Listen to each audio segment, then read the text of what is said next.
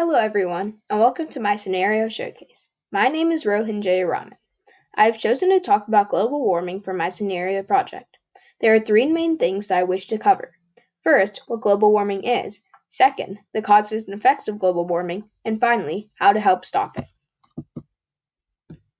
The dictionary definition of global warming is a gradual increase in the overall temperature of the Earth's atmosphere, generally attributed to the greenhouse effect caused by increased levels of carbon dioxide, chlorofluorocarbons, and other pollutants. Let's break this down. Basically, global warming is when the Earth warms up due to greenhouse gases. First, the sun's rays hit the Earth. 30% of these rays back, bounce back into outer space. The other 70% gets trapped in the Earth. It bounces around in our atmosphere and gradually makes the world warmer. This is because the greenhouse gases we use absorb the sunlight. Only small amounts of sunlight are able to make it back to space. Now that we know what global warming is, let's talk about the causes and effects. The main cause of global warming is greenhouse gases. These are created both by humans and nature, but scientists have found that recent global warming has been caused by humans. There are three very important greenhouse gases that impact our world for the worst. The first is carbon dioxide. This is released during the combustion of fossil fuels. We create this by burning coal for electricity, making cement, and through deforestation. Next is superpollutants. Some superpollutants are methane, black carbon, and HFCs. We create these from landfills, agriculture, transportation, and refrigerants. The last one is nitrous oxide. This is also released during the combustion of fossil fuel, but we create this through solid waste.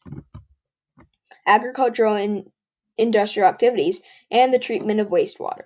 There are four main effects of global warming, and none of them are good. The first is increased health risk. Global warming is expected to cause an additional 250,000 deaths per year from malnutrition, malaria, and heat stress. Next is sea level rise. By 2100, over 1.2 million U.S. coastal homes will be at risk of chronic inundation. The third effect is wildfires. The annual area burned in the western U.S. could increase two to six times what it is today by 2050. The final effect is species loss. Just over half of plants and animal species could face local extinction by 2100. Finally, let's talk about how you can stop global warming. There are three things that you can easily do to help the world.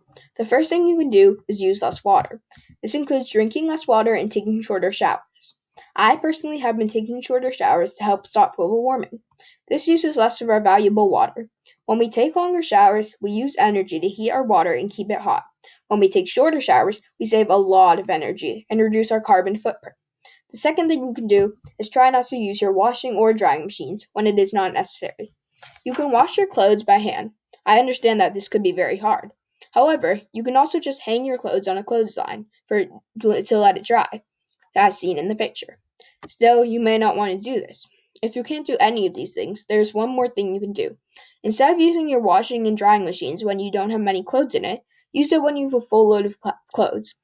The, full, the final thing you can do is use an alternative for plastic. Plastic hurts the world in many ways. It can kill animals all over the world, and it can also hurt us. Plastic is a very hard product to avoid because it's in almost everything, from food packaging to glue to baby wipes.